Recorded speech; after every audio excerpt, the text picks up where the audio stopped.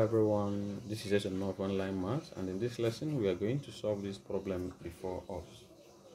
We have 4 power x plus 4 power x is equal to 32 and you ask yourself 4 power x is 2 times at the left hand side. So you can call it um, 2 multiplied by 4 power x because it is double right? 2 multiplied by 4 power x.